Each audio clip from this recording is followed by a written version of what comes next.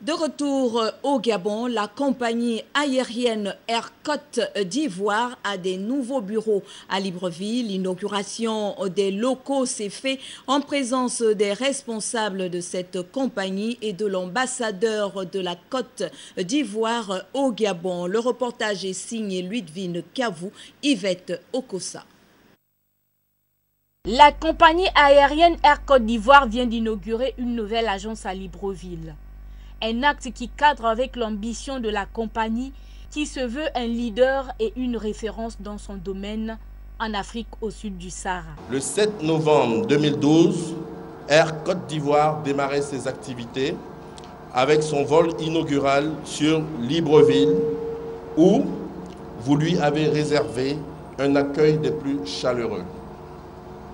Aujourd'hui, 15 mois après, nous avons ouvert 18 destinations. Comme on le dirait chez nous à Abidjan, le Gabon nous a porté chance. Marquée par une coupure de ruban et la visite des locaux, la cérémonie d'inauguration des nouveaux bureaux de Air Côte d'Ivoire situés au boulevard Omar Bongo de Libreville a permis aux responsables de présenter au cours des échanges avec la presse leur compagnie.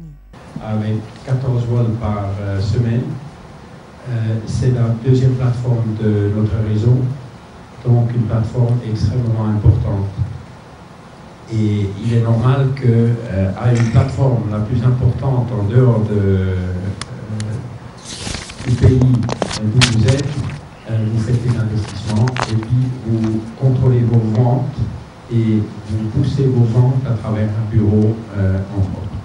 En 12 mois d'existence, la compagnie a réalisé un bilan positif. L'excellence des relations politiques et culturelles entre le Gabon et la Côte d'Ivoire, ainsi que la situation géographique du Gabon, sont entre autres les raisons du déploiement de Air Côte d'Ivoire au Gabon. En ce jour, nous comptons près de 5 000 Ivoiriens.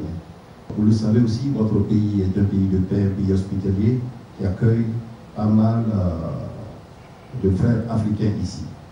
Donc euh, tout ce monde a, bouge et pour bouger, ils utilisent l'avion. Mais en plus, et c'est la grande découverte que j'ai faite euh, au niveau de l'ambassade, sur le plan matrimonial, on compte beaucoup de mariages ivoiriens, gabonais, gabonais, ivoiriens. Dix personnes assurent le fonctionnement des nouveaux bureaux de Air Côte d'Ivoire à Libreville.